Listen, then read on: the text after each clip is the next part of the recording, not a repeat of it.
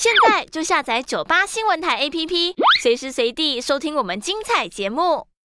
今天的主题非常的有趣，是在讲金融股否极泰来了吗？这个存股的时机到了吗？是不是已经脱离了这个过去哦？我这个防疫险保单理赔的阴霾了呢？然后过去市场不好，他们持有的这些手上的这些债券类的相关的资产跌价跌了一大堆哦，所以现在很多的净值哦，之前去年扣到。呃，减损的状况，今年好像从财报啊陆续公布半年报以来，好像都看到蛮多呃不错的一个数据哦。那我们今天特别请来启发投顾的分析师，我们的丁彦君彦君来跟我们来分享一下他的对金融股的这个观察。那燕君虽然非常年轻哦，可是我认识他当年出书的时候，我觉得年纪是真的是很年轻哦。不过他在这些有一些关一些特殊的类股的部分，专业是很深的。那燕君跟大家打个招呼。主持人好，各位观众朋友，大家好。Hello，对，哎，燕君啊，我们呢，这个我最近看到一个数据哦，就是说今年上半年金融三业，就是银行业、证券期货业跟这个所谓的保险业哦，税前盈余。哦，差不多三千七百四十八亿元哦。那年减幅从双位数哦收敛到只剩下八 percent 了。其中又以保险业以由从黑翻红哦，贡献最大这样子。那这个部分呢，你是怎么看呢？因为呃，感觉上保险业它刚刚有说从黑翻红，以前都是赔钱，现在是变有获利盈余的部分。那去年以前大家都知道说防疫险。保单赔的大家真是一屁股哦。那其实不止，这只是其中一个因素嘛。还有就是整个去年整个大环境是不好的，所以他们。寿险类股像手上他们的手上一些海外的一些资产可能减损的情况还蛮严重的，对不对？那今年真的就已经是随着股市的上来之后，以及这个呃防疫险的理赔已经到了一个差不多很末端的一个情况下，真的否极泰来了吗？你的观察是？好，那我们现在看产险的部分。嗯，其实产险公司呢，一般来说啊，是每一年稳定获利。对，好，过去十几年呢，大部分的产险公司啊，都是一个很好的定存股。嗯，但是产险跟其他的公司有一些比较不一样的地方，就是它可能会突然多了一笔负债。就是一般的公司有多少负债是固定的，可是产险公司呢？哦，像九二一大地震的时候，那个时候啊，倒了很多的房子。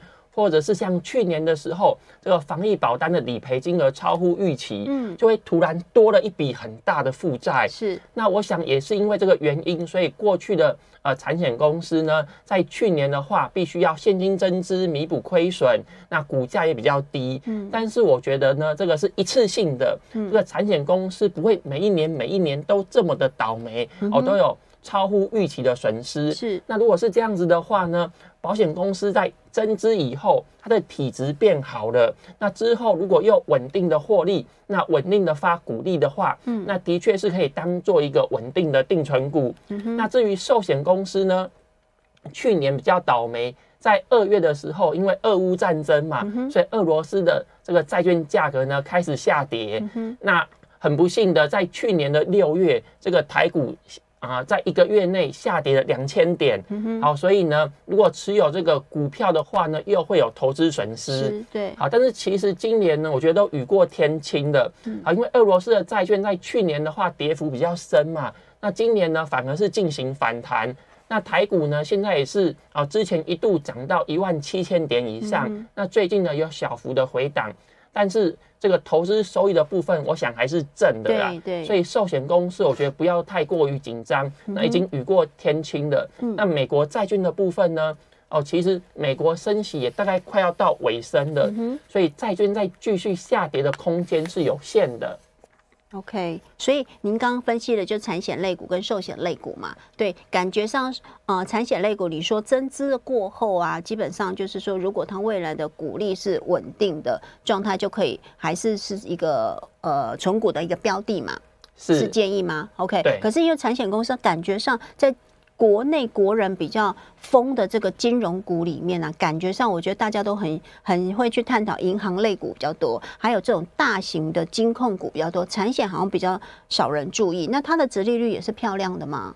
哦，产险呢，因为它规模比较小，它的规模只有寿险的十分之一，嗯嗯，哦，所以。一般来说呢，因为股本比较小，知名度比较低，是，所以国人不太把这个产险的公司当做是定存股。嗯，那一般来说，如果规模比较大的话，比较稳定嘛，所以一般大家都是把金控股或者是大型的银行股当做一个定存股。对我觉得这样的观念也是正确的。OK OK，好，所以那回到我刚刚讲的，就是说，呃，寿险金控，您刚刚有讲，就是说去年就是债券价格可能回升了，以及就是在股票的资产的部分，今年应该也就是比较收复江山了，哦，所以感觉上账面的价值是蛮好的。像我们比较常常探讨就是国泰金、富邦金这两大嘛，那感觉我觉得他们最近的股价的确就是。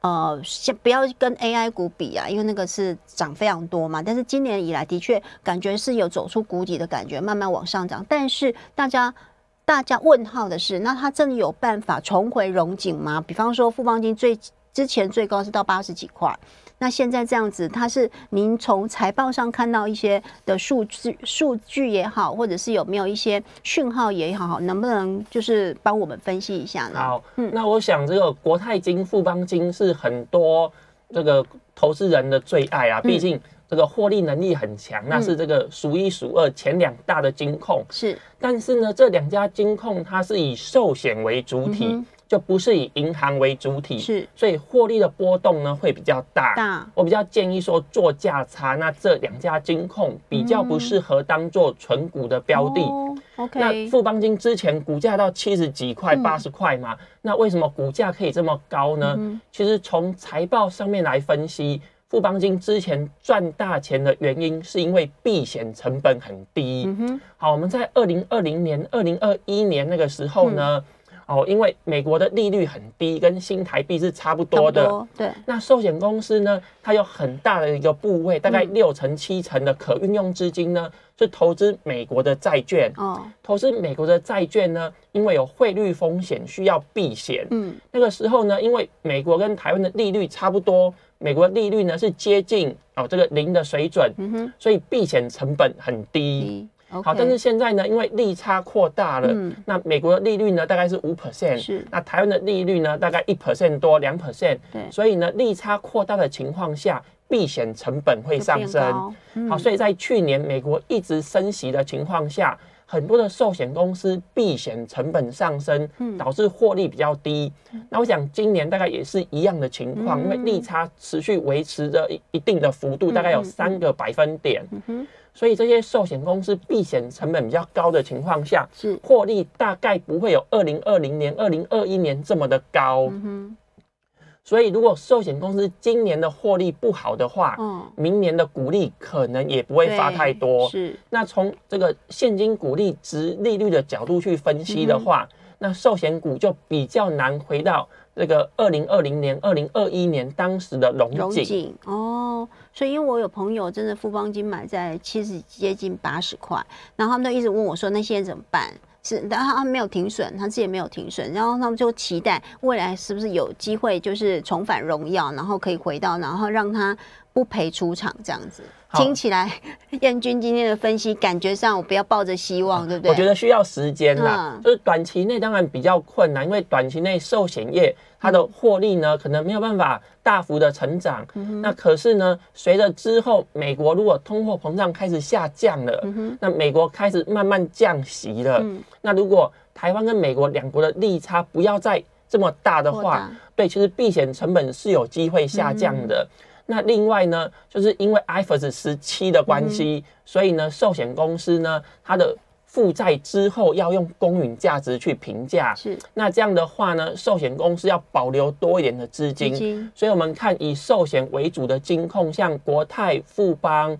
哦，开发或者是星光，其实现金股利没有办法发的太多，嗯导致说殖利率不高。对，那如果之后哦我们是这个二零二六年实施这个 iPhone 十七以后呢，那如果这个寿险公司体质良好的话，嗯是有机会发放比较多的现金股利的。嗯那很多人都把金融股当做是定存股，对呀那金融股的股价呢，也是跟值利率是有关是系的。啊是，那如果之后现金股利比较多的话，嗯那我想市场会给予哦这一些寿险股比较高的评价。嗯哼，不过听起来还蛮遥远的。我们现在才二零二三年呢，对，那我想投资人都是哦，有一些人是目光短浅嘛，嗯那不会去看这么远，所以股价在短期内我觉得比较难有表现。嗯哼，OK，好。其实我觉得金融股是的确是台湾人蛮多的纯股族喜欢的一个一个标的。但是呢，今年以来就是你看，像开发金它就配不出股利了，所以它的马上这个股价就受到修理了。这样，那也也有一些人呢、就是很稳的。我觉得，因为金融股它就是大家都觉得你看得到。的行业，因为银行嘛，或者是保险公司都存在在那里，所以对很多的股民来讲，他喜欢投资他看得见的公司。好，那看得见之后呢，他长期过去 A 配的也不不是特别的高，但是就是稳。好，那就每一年，可是这两年整个市场变化了之后，就发现，哎。我以前稳稳的每一年可以领到的股利，怎么缩水这么多？所以大家才会去去想说为什么这样子？那当然，市场还有另一派，就是觉得说，哎金融股它还是因为股价不是那么高，相对于一些其他的什么电子类股等等的。那电子股因为它属于成长型的，所以它配发的股利是真的很少。所以如果你站在纯股或者是想要领股利的一个角度，可能还是又一批的拥护者是在讲金融股哦。好，那我们今天请燕君来，我们就在分析，刚刚分析了这个财险跟寿险类股啊，那银行股呢？大家会觉得说，哎，那关谷的银行这种类型的金融股是不是就比较稳？因为我看蛮多有一些像和库金，我觉得也蛮意外的。我觉得它它现在股价已经就是最近都一直超越这个以前的一个绩优生叫做玉山金嘛。嗯，嗯，好，那我们来看啊，银行股的部分，那就有分民营银行跟这个关谷行库。是。关谷行库一般来说呢，公务员嘛，大家是啊比较怕风险的、啊，做事是比较稳的。那反映在这个银行产业呢，也是这样子。民营银行呢比较冲，它会去追逐比较高风险的一些哦经营，是，获利成长性比较高，嗯。风险也比较高。嗯。但是这个关谷行库呢比较保守，获利成长性比较低，但是相对的也比较安全，风险也比较低，嗯。那比较不会去踩雷啦。对，那像现在这个啊大陆的房地产景气比较不好，嗯。那这个碧桂园呢出现了财务危机，是。那对于中国大陆铺险的部分呢，就是民营银行会比较高，高。对，那那个关谷行库呢比较低，嗯所以就股价而言呢，可能关谷行库的股价就会比较稳，嗯这也是大家喜欢把关谷行库当做是啊定存股的原因。好，因为获利的波动比较低，比较稳，那这个股价的这个发放。这个盈余的发放率还蛮高的，好，所以这样算起来呢，殖利率大概有四 percent 左右，嗯对，所以很多人就把它当做是定存股。嗯嗯嗯，OK，好，所以就是以现在的状况下，看起来就是这种所谓的呃关股的呃这种所谓的银行可能会相对是稳一点的。对，嗯那如果在景气就是比较差的时候，嗯我是建议说可以投资关股的行库，因为比较稳嘛，嗯。它的获利呢不至于大幅的衰退。嗯，但是如果在经济成长的时候，嗯。哦，这个大盘上涨的时候，股市多头的时候，嗯，我就比较建议说可以去买进哦这个民营银行的这些股票，因为它获利成长比较多，对。那股价比较有机会做表现。嗯哼。OK，好，我们谢谢燕君的这个分析哦。那我们回到半年报的部分，最近大家都是就是公布的差不多了嘛。那你从就是整个金融业的半年报里面，你有没有找到一些什么相关的亮点呢？可以跟我们分享一下。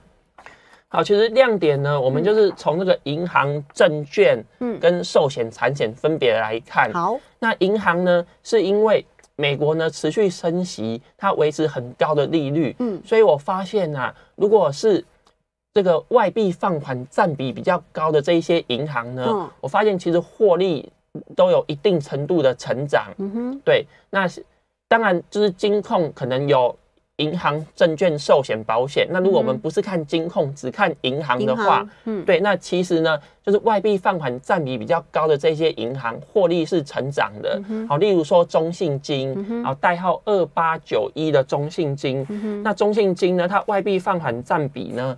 就是它的中性银大概是三十五 percent，OK。它外币放款占比是比较高的，嗯所以如果是这样子的话呢，啊，美国升息那维持高的利率，利差扩大的情况下，嗯。如果把钱呢去用，就是用美金的方式去借出去的话，那获利就会比较高，利差就会比较高。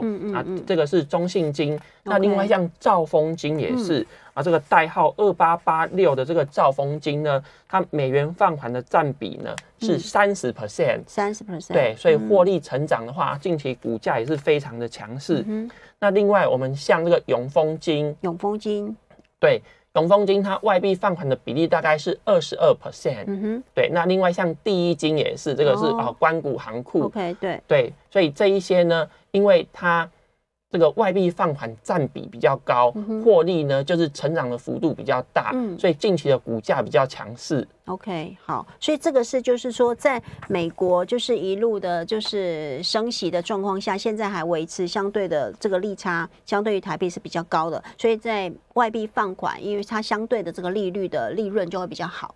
是，对，那这样子的一个趋势，要不要会不会联动到说，那明年万一有可能美股降息的时候，那这个算是利多的因子，会可能会受到影响。好，那如果美国降息的话呢，嗯就是我觉得美国降息，它降息的幅度大概有限啊，不可能说一下子降很对降到比台湾的利率还要来的低啦。哦 OK，因为台湾呢，在过去就是哦开放过多的银行嘛，那个时候嗯王建轩担任财政部部长的时候，嗯开放很多的银行。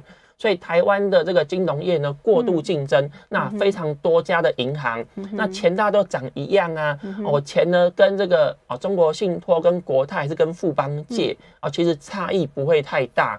所以银行开始进行价格战，就是把利率不断的压低。是那在这样的情况下，金融业的获利就会哦缩小，它的获利水准就会下降。嗯所以很多人说啊，台湾的银行业呢，这个经营的非常的辛苦。嗯好，但是美国的银行业呢，它的获利呢，它的利差就比较大。是所以只是因为美国升息呢，去把这个利差原本就很大的这个部分呢，再变得更大了。嗯嗯就算之后美国开始降息，利率开始往下，那可能美国的利差呢稍微缩小一些，嗯但是呢还是会比台币放款的利差来得大。好，OK，好，所以这是银行银行业的部分。那再来呢是证券业？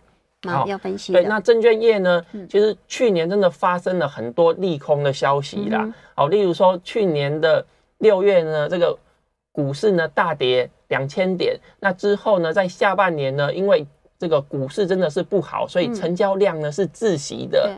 对那证券公司呢，它的获利来源有三个。嗯那第一个呢，就是经济的手续费收入。嗯，那没有成交量的话，就没有证券公司的经济手续费收入当然是比较少。嗯那证券商的第二个收入呢是投资收益嘛。嗯嗯那证券商呢，它有自营部门，那自己会投资。那如果股市不好的话，那我想投资收益也不会太好。哦对，那第三个收入是利息收入哦。嗯大家可能觉得很奇怪，哎，证券商怎么会有利息收入啊？嗯那因为呢，一很多的民众呢买股票可能资金不够，嗯所以会进行融资。融资那融资呢，就是买进股票的投资人跟证券商借钱买股票。对那借钱的利率呢高达六 percent，哦，嗯，就是六 percent 算蛮高的啦。的。像银行呢，可能把借这个房贷利率才两 percent，是啊，但是呢，证券商把钱借给投资人去买股票，利率有六 percent，对。而且还有股票当做这个担保品嘛，其实风险是低的。那因为去年呢，这个成交量萎缩，股市一直下跌，大家不敢去融资买股票，所以证券商的利息收入也也减少了。但是今年上半年台股一路往上冲嘛，从这个熊市呢翻转变成了牛牛市。在这样的情况下呢，嗯大家比较敢借钱去买股票，所以证券商的利息收入也增加了。嗯所以从证券商的财报，我们看到说三项这个收入来源，包括这个经济的手续费收入，包括自己的投资收入包括借给这个投资人的利息收入啊，都是上升的。嗯 OK，所以感觉上证券业应该就是是，但是现在会不会股价其实都反映上来了呢？好，那其实呢，证券业是很标准的景气循环股。嗯嗯好，我们在二零二一年那个时候呢，股市大好的时候，那证券业的获利就非常好。嗯在二零二二年的时候，那个时候景气很差嘛，股市不好，那证券业的获利比较差，股价也比较差，所以证券业是很标准的景气循环股。那对于这些景气循环股应该怎么操作呢？那我觉得就是在景气最差的时候，嗯二零二二年的时候，嗯公司获利很烂的时候，股价很低的时候，在这个时候买进，嗯。会比较安全。那如果是在二零二一年那个股市很热，公司获利很好，股价在高点的时候，嗯。在二零二一年买进的话，嗯。那放到二零二二年，那可能就会亏损。所以证券业呢，它的投资方式比较不一样，不是说财报很好、获利很好的时候，这个时候跳进去买，嗯。绝对是错的。哦。应该是在景气很差获利很烂、股价到低点的时候，嗯嗯在这个时候买进会比较安全。嗯那所谓的低点，我要跟什么相比呢？跟它过去这一档的股票的过去的相对的历史的股价的低点来比，还是跟什么相比？那股价呢，就是到底是高还是低？啊那我们可以看技术面嘛，跟过去历史的数据来比。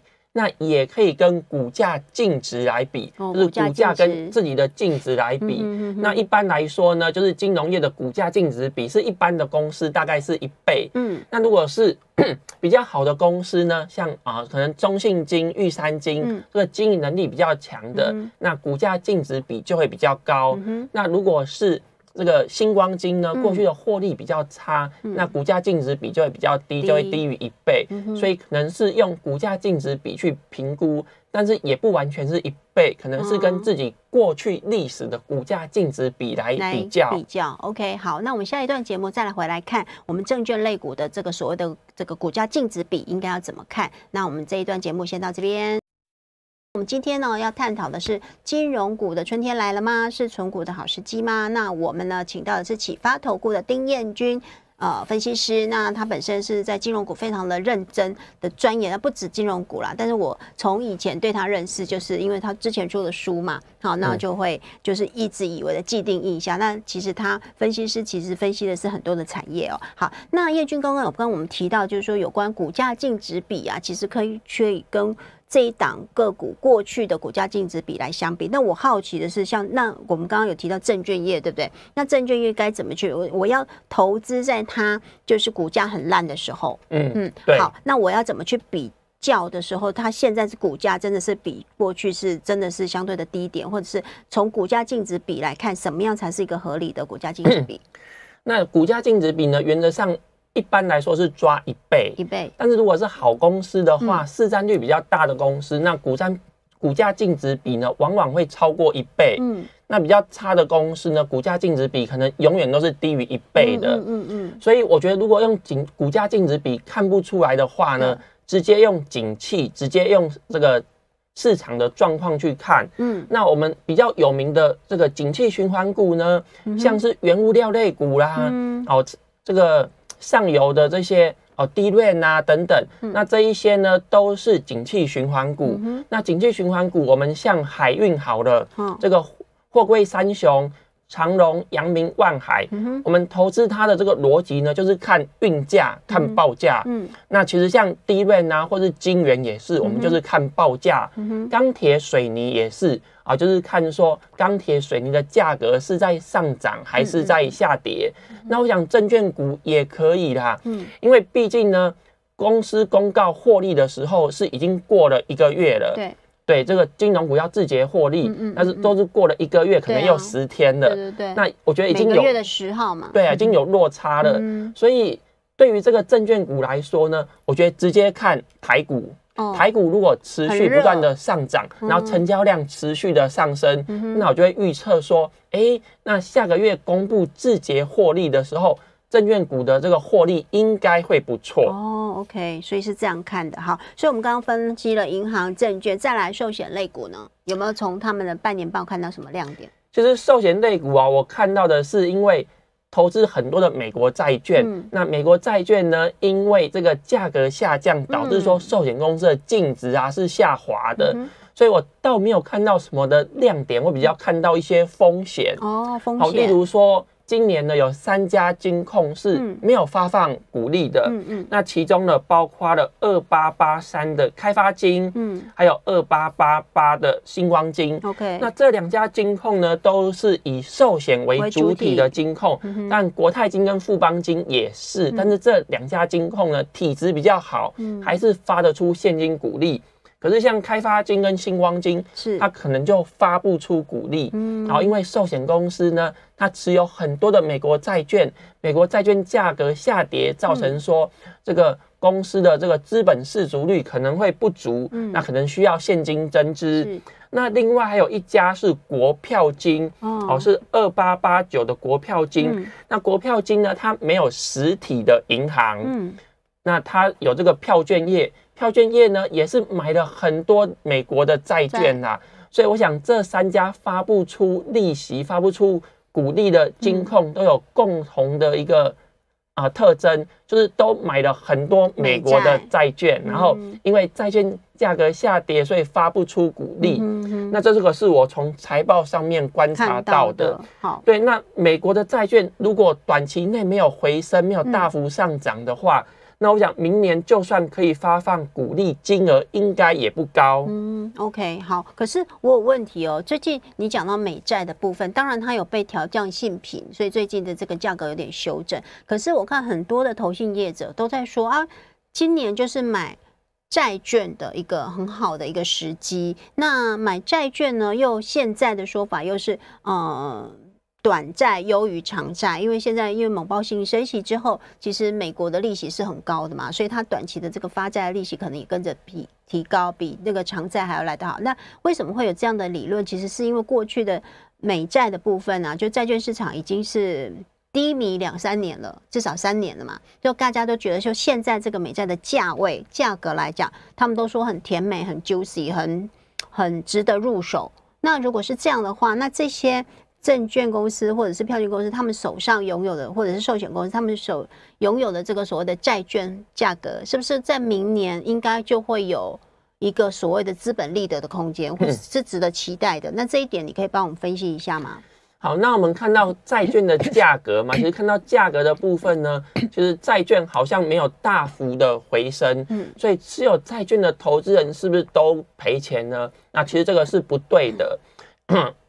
好，因为债券呢，它除了可能价格上涨可以赚取资本利得以外，嗯。债券呢，它每一年每一年都会去配发利息，债息对，所以即使债券的价格都没有上涨，嗯哼。持有债券的投资人也可以拿到利息收入。嗯那我想，为什么现在有很多人鼓励大家去投资美债呢，？是。好，原因是因为现在利率比较高嘛，嗯嗯可能殖利率有五 percent，对，好，有些性品比较低的，甚至到六 percent。嗯哼，好，所以只要债券不要违约，这家公司、哦不要倒闭，到期的话呢，其实投资人就可以领到五 percent 或者是六 percent 的利息，嗯嗯。那可能比这个台湾的定存利率高非常多。嗯那我想这个是鼓励去投资美债的投资人他的观点。，OK，好，但是也要特别提醒投资人，因为美国的债券是用美金计价，所以会有汇率风险。哦那汇率如果你是在啊、可能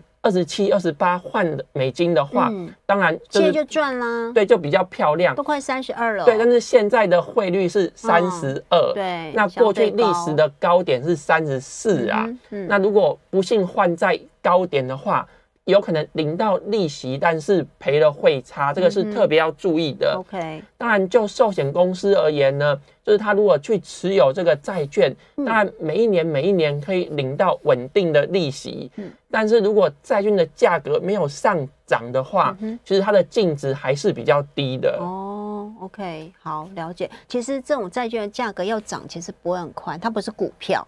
对不嗯对？好、所以呢，我觉得就是要期待这个所谓的资本利得，我觉得还是要用时间来等待它。对啊，那我觉得这样 分析好了，嗯很多人去买进美债是期待说，哎，如果美国之后开始降息的话，债券价格会上涨嘛，嗯嗯嗯就把资金呢去配置在美债上面。嗯可是我们看今年哦，今年不管是美股还是台股，其实股市呢都已经反弹了一波。嗯对所以如果是低点买进股票的话，嗯现在应该是赚很多钱。是但是如果是买进美债的话，嗯可能只有领到利息收入，资本利得其实并没有赚很多啦。嗯，嗯，没错，的确是哦，因为股票资产跟债券资产，它本来就是一个本质完全不同的资产，所以你要期待它有这样子像股票这样的报酬率，我觉得这也是天方夜谭啦。所以大家本来就是一个配置的一个概念哦，就大家要先有这个概念。好，那我想先再来请问一下燕君啊，如果是你自己，你自己在挑。金融股的这个相关的类股，你会最在乎财报上的哪些数据？为什么？好，那如果是银行类股的话呢，我最在意的是余放比例。余放比例，刚才讲过，这个产险可能会这个突然之间多了一大笔负债嘛。嗯哼。那至于这个银行业呢，可能是一夕之间资产就会不见哦。嗯就是一般来说啦，可能公司的那土地呀，或是机器设备是不会一夕之间就不见。嗯。但是银行的资产可能一天就全部都不见了。嗯。那为什么会有这样的现象呢？因为银行的资产大概有一半是放款，嗯，是把钱借出去，对，所以银行如果把钱借给董事长，嗯，就董事长卷款潜逃，哦，那这个银行的资产瞬间就不见了，嗯嗯，所以我觉得银行的资产呢，它放款的品质非常的重要，嗯，那如何来衡量放款的品质，就是余放比例，OK，所以我觉得余放比率呢，可以去衡量说。哦，这个银行它资产的品质到底是好还是不好？那所以这个余放比例要控制在多少的百分比？那余放比率呢？之前标准比较宽松，就是低于百分之五以下就可以了。但是现在标准比较严格啦。我觉得就是余放比呢要低于一 percent，哦，甚至是零点五 percent，OK，才是比较优质的银行。了解。像以前这个。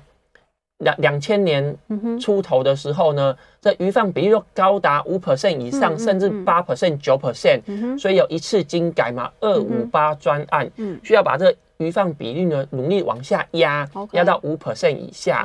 可是现在大多数的银行呢，余放比率都低于。一 percent，OK，哦，因为之前呢不景气淘汰不争气，嗯，在二零零五年、二零零六年那个时候有双卡风暴，是，那很多体质不佳的银行倒闭了，出去了。那二零零八年呢发生金融海啸，那体质不佳的银行呢也倒了一些了，所以现在可以留在市场上的这一些银行呢，都是体质还不错的，嗯，那目前的余放比率呢都是低于一 percent，所以我才说银行股呢很适合当做是定存股，因为目前。大多数的银行，它的那个余放比例都是很健康的，资产的品质都是良好的。嗯嗯嗯，OK，好。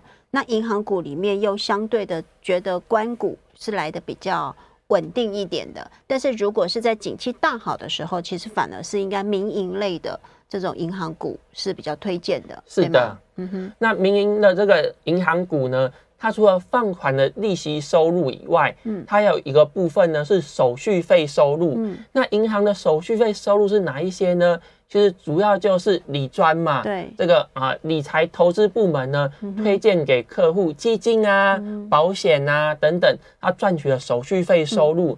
那其实这个金额呢，如果在景气好的时候，哦，股市大好的时候。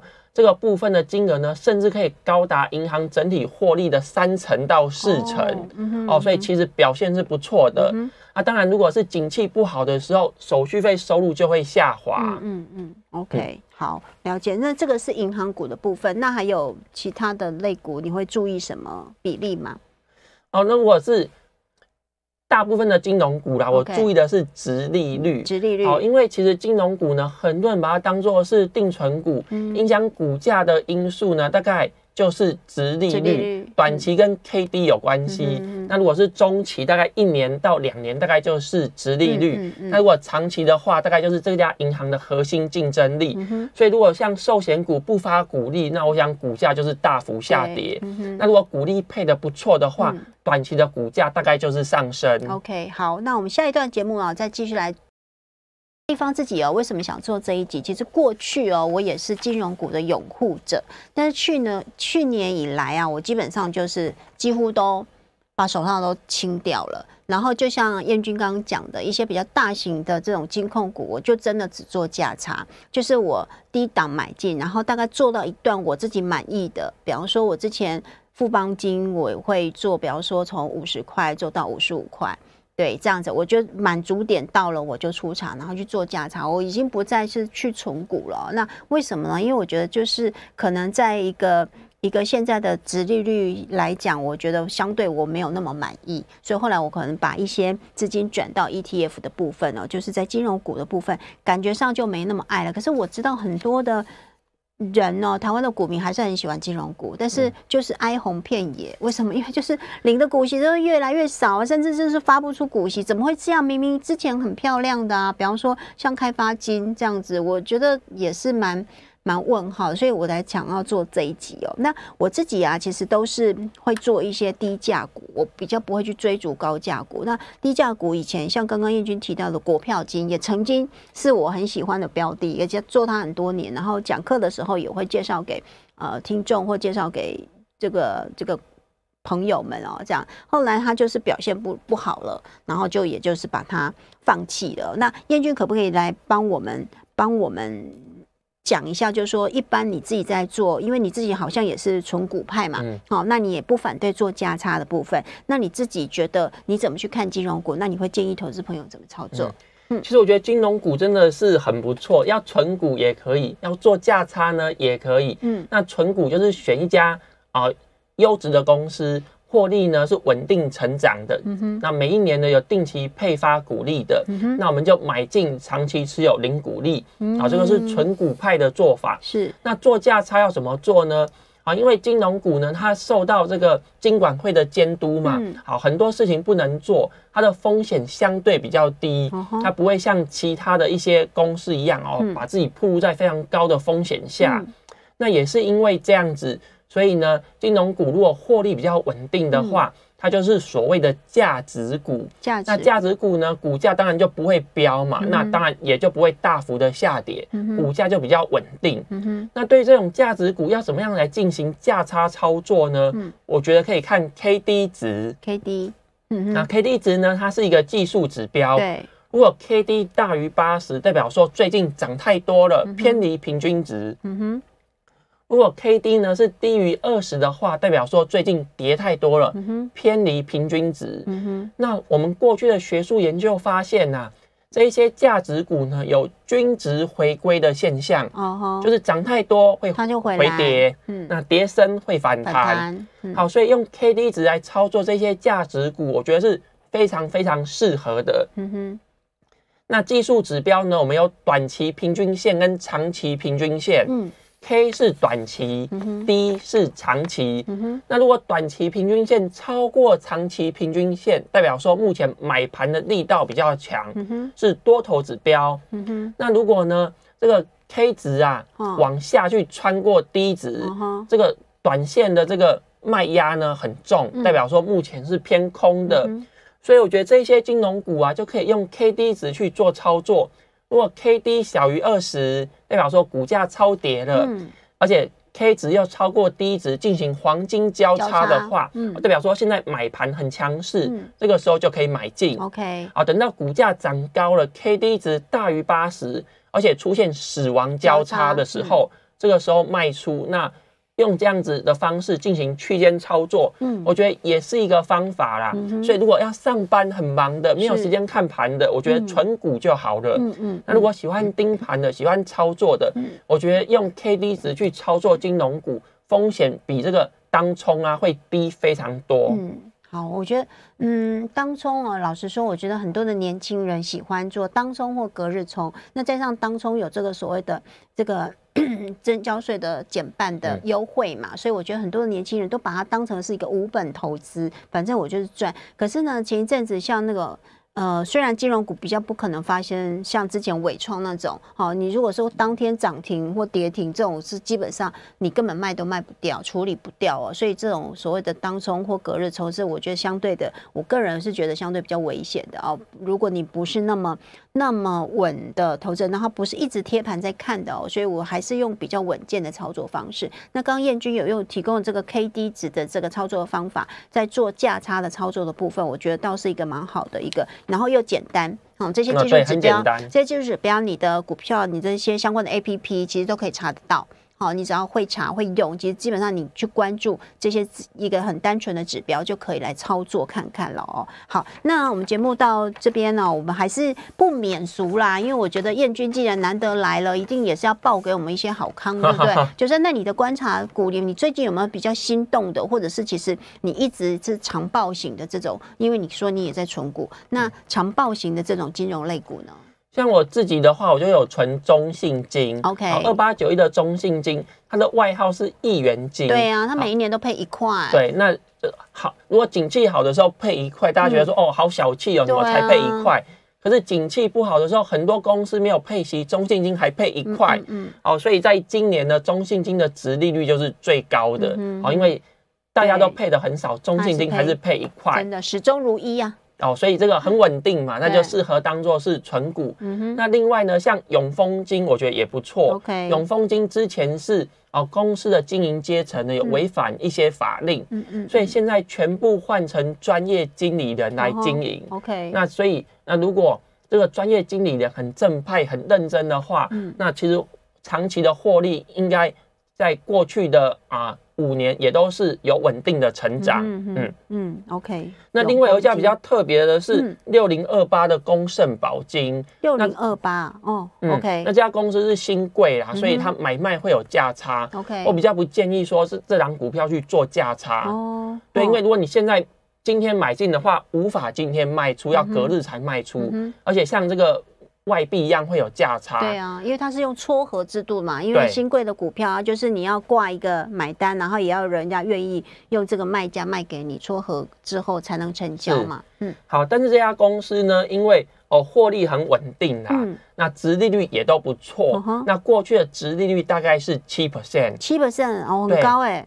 对，所以像这种公司呢，因为它的殖利率比其他的金控股来的高啦，嗯但是也是因为成交量比较小，嗯所以我建议说呢，大家呢就是不要去追高，那嗯不要去哦短期操作去做价差。如果长期持有的话，去领股利，那我觉得嗯也是不错的。OK，好，所以今天君带给我们三个标的哦，中信金、有丰金，还有这个哦工盛宝金哦，六零二八这样子。好，那最后一点时间，我们来就是直接讲结论。那现在是买金融股的好时机吗？那是或不是？我们直接问。嗯，我觉得应该算是吧。，是，嗯对。那如果是买金融股最好的时机，当然是去年啊，嗯去年股价那么低，状况那么差，都可以买在低点。嗯那现在台股呢，也都涨到将近万七了，很多的这个股票都涨上来了。嗯但是选来选去啊，我还是觉得金融股是比较适合的。嗯好，因为电子业呢，从台积电的法说会，我们知道，嗯景气复苏的时间从原本的第三季延到了第四季。是，但是我跟很多在电子业工作的朋友聊天，他们都说目前的订单还没有回温的现象，嗯景气复苏的时间呢，很有可能再延到明年的第一季。对，我觉得这也是你记不记得燕君之前，我记得上半年都还有很多的分析师在说，哎，今年有可能美国会降息，有没有？嗯那时候市场很热，有没有？然后就想可能吗？就是猛爆性升息到，然后今年竟然。嗯降息，后来联准会的一些陆续的两三次出来都说不可能是这件事情，对，然后甚至就说今年还会再继续升息，对，对，那所以如果是这样的话，就是电子业的表现可能短期内不会太好。嗯嗯那刚好因为 AI 的热度啦，所以电子业呢在最近整个被带起来了。嗯其实目前电子股它的股价呢都已经反映了明年跟后年它的获利成长了。